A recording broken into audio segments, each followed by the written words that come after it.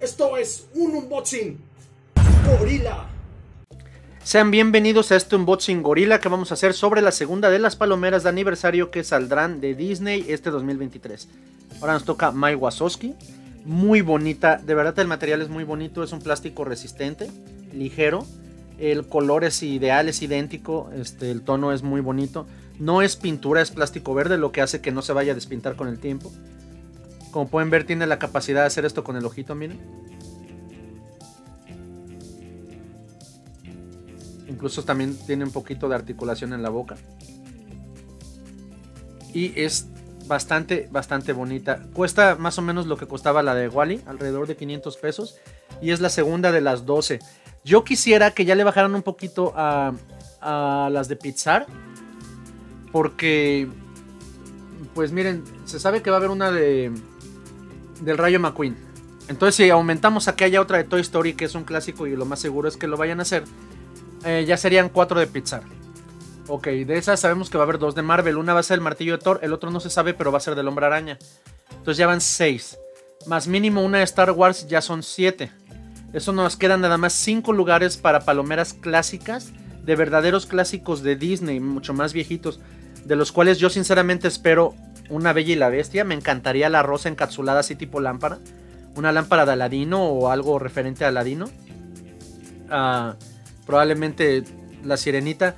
Les diría que el Rey León, pero creo que es muy difícil que superen la palomera de Pumba que ya habían sacado, que estaba hermosa y yo la tengo, gracias a Dios. Eh, tuve esa, esa bendición de conseguirla.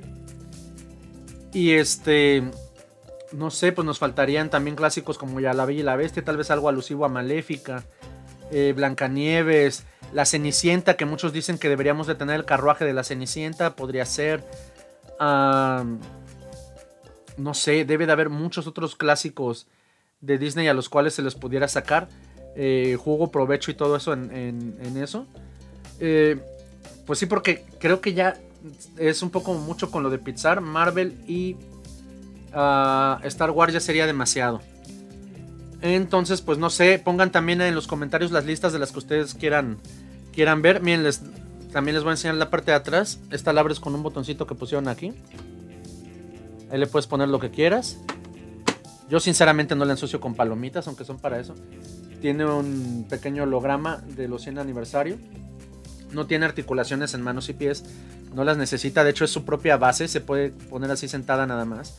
Y queda de verdad bastante hermosa en exhibición. Es una chulada.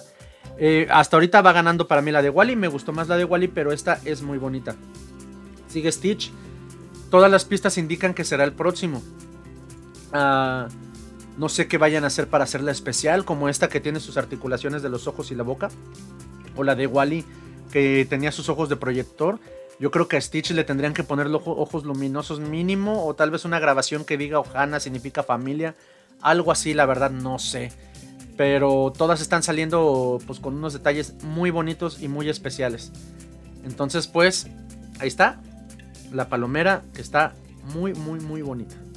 Y pues nos vemos hasta la próxima de las palomeras de colección. Recuerden, este producto tiene sello y calidad gorila y faltan 10 a lo largo del año. Así que recuerden, vayan a entrar a esta colección de videos. Y nos vemos hasta la próxima. Sale, bye bye, arrivederci, adiós.